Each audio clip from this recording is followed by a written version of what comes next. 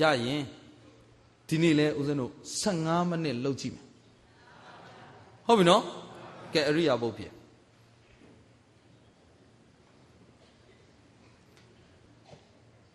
တင်ပင်ခွေထိုင်ထိုင်ဒူးတုတ်ထိုင်ထိုင်ထိုင်မှာခြေတော့နှစ်ခုကိုတော့မထပ်ထားပါစေနဲ့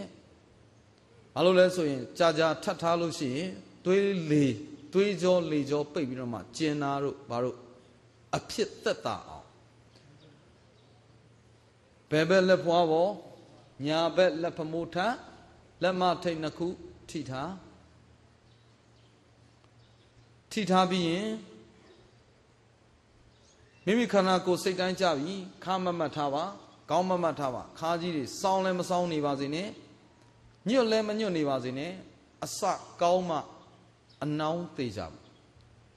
ငါဟာဒီ15မိနစ်အတော်အတွင်းမှာတော့